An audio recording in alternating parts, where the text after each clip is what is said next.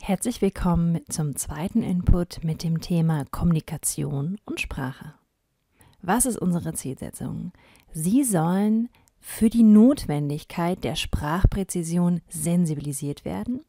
Sie sollen die besonderen Aspekte bei der Kommunikation mit einem Computer als eine Maschine, die insbesondere für die Algorithmisierung zuständig ist, erfahren und ihre eigene Sprache präzisieren. Und Sprache betrachten wir hier aus der MINT-Perspektive. Also die für MINT zentralen Aspekte von Sprache sind es die Sprache präzise, logisch, strukturiert und operationalisierbar ist. Und die Förderung von Sprache unter diesen Aspekten stellt eines der Lernziele der gesamten Veranstaltung dar. Die Alltagssprache, wie wir im Folgenden sehen, erfüllt diese Kriterien nicht unbedingt. Als konkretes Beispiel für die Alltagssprache schauen wir uns ein Lexika bzw. ein Wörterbuch an. Das mag jetzt ein wenig komisch klingen, aber in einem Lexikon wird unter anderem die komplette Alltagssprache gesammelt. Und hier können wir auch gerade sehen, zum Beispiel an einem Beispiel, was mir von meiner Kollegin so gesagt wurde, dass im Grinschen Wörterbuch der Marienkäfer nur einen sehr kurzen Eintrag hat, während das Verb stehen einen sehr langen Eintrag hat. Was hat es jetzt mit unserem, also als Kontrast mit unserem Fokus von MINT, den wir eben gerade hatten, zu tun. Wenn Stehen so einen langen Eintrag hat und Stehen demnach eine vielfältige Wortbedeutung hat und besonders sprachlich interessant ist, dann ist es gerade aus MINT-Perspektive nicht präzise, logisch, strukturiert und operationalisierbar, weil es gerade nicht nur für einen einzelnen Aspekt steht, mit dem ich etwas modellieren kann, und zwar einen ganz klaren Aspekt, sondern es geht gerade um viel, die vielfältigen Sprachbedeutungen, die wir haben.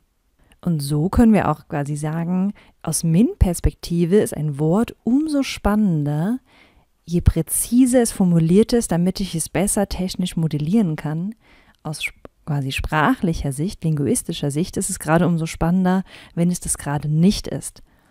Und wenn Sie sich weiter dafür interessieren, deswegen habe ich es hier einmal aufgeführt, meine Kollegin Andrea Rapp bietet ein Seminar namens Lexikographie in diesem Sommersemester an und es gehört zu dem Modul Digitalität als Praxis in den Geisteswissenschaften, das auch zum Vernetzungsbereich gehört. Und da werden Sie quasi einmal sich mit der Lexikographie beschäftigen, einmal von den Ursprüngen, aber auch wie, welche Kulturkompetenzen und technischen Dinge darin noch alle stecken. Und so verbindet quasi die Sprache als Überthema verschiedene Module im Vernetzungsbereich. Was ist nun so anders bei Computern, also die Sprache, die Computer benötigen, um mit ihnen irgendwie als Maschinen zu agieren? Um es vorwegzustellen, Computer sind nur dumme Maschinen. Sie verstehen nichts von sich aus, aber sie können ziemlich gut rechnen. Und hier sind quasi ähm, Computer wirklich in der Ursprungsform Ursprungs, ursprünglichen Formulierung als Rechner zu betrachten. Wir haben hier sehr kompetente Rechenmaschinen, aber es handelt sich um Rechenmaschinen.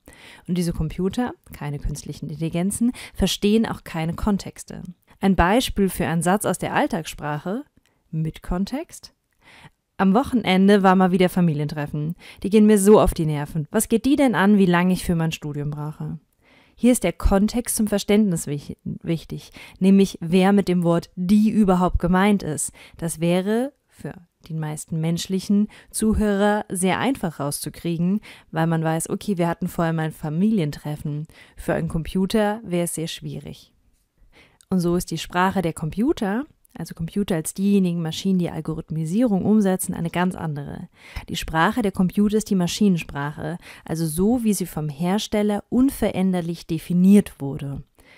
Das ist nicht nur die Nullen und Einsen, wie man sie sich vielleicht schon in irgendwelchen Filmen gesehen hat oder vorstellen würde, sondern auch hexadezimale Schreibweisen. Das bedeutet, sie haben die Ziffern 0 bis 9 und die Buchstaben A bis F und dann hätten sie zum Beispiel eine Anweisung, also ein Satz in dieser Sprache wäre C745F803.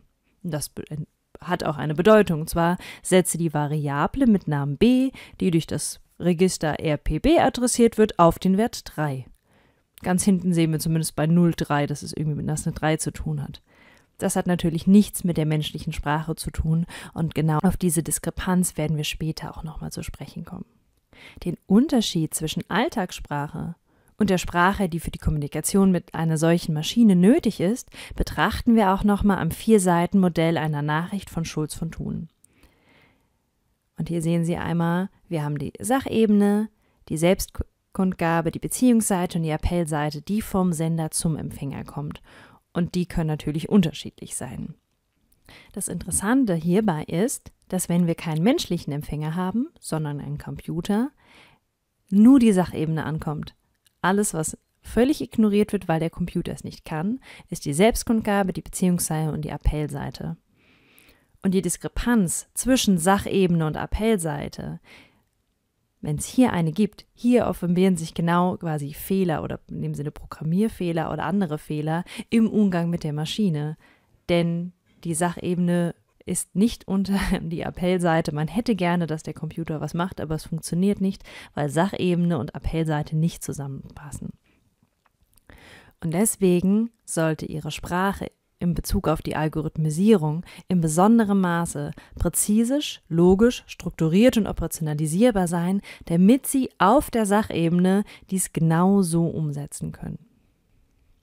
Nun werden wir nochmal auf die Diskrepanz zwischen die Sprache, die Maschinen verwenden und die Sprache, die Menschen verwenden bekommen. Und was ist deswegen der Sinn von Programmiersprachen? Menschen sind nicht kompatibel mit Maschinensprache, weder binär, also 0 noch 1, noch hexadezimal, das äh, mit den 0 bis 9 und A bis F als Buchstaben. Und was ist also das Ziel und der, das Ziel und der Zweck? Wir wollen eine Lösung für ein Problem so formulieren, dass sie für Maschinen ausführbar ist, im Sinne der Algorithmisierung, und für Menschen verstehbar ist. Denn wenn sie nur noch für Maschinen verstehbar wäre, also ausführbar, dann könnten Menschen sie gar nicht mehr testen. Und der Mensch ist nicht wegzudenken in der Korrektur, in dem Lösen, in dem Verstehen. Und deswegen ist quasi ein Bindeglied, ist eine, sind Programmiersprachen entstanden. Und die besitzen oft aus historischen Gründen Schlüsselwörter aus, Engl aus der englischen Sprache. So entstehen zum Teil auch Fehler durch unterschiedliches Verständnis der Worte. Was können wir also zusammenfassend noch sagen? Programmiersprache und quasi auch die Sprache, die Sie kennenlernen zur, zum Lösen von algorithmischen Problemen, dient als Bindeglied zur Kommunikation des Menschen mit einer Maschine. Und gleichzeitig wenn Sie in dieser Programmiersprache denken, strukturiert es auch Ihre Gedanken und Ihre Abläufe, wie Sie algorithmisch so etwas durchgehen. Gerade um diesen Punkt nochmal anzusprechen, Sprache beeinflusst Denken und umgekehrt. Deswegen einmal links auf dem Bild die Sprache dargestellt und rechts das Denken. Und Sprache soll hier als Bildungssprache nach Morek und Heller zu verstehen sein. Welche Aspekte und welche Funktionen von Sprache sind demnach relevant? Sprache ist ein Medium von Wissenstransfer und hat eine kommunikative Funktion. Sprache ist ein Werkzeug des Denkens und hat damit eine epistemische Funktion. Und es ist eine Eintritts- und Visitenkarte und hat damit eine sozialsymbolische Funktion. Diese Zugänge sind aber nicht unabhängig voneinander. In der Übung steht vor allem die epistemische Funktion im Vordergrund, also Werkzeug des Denkens. Sie sollen ihre Sprache und ihr Denken im Bereich der, von algorithmischen Problemstellungen, also der Algorithmisierung, präzisieren und logisch strukturieren.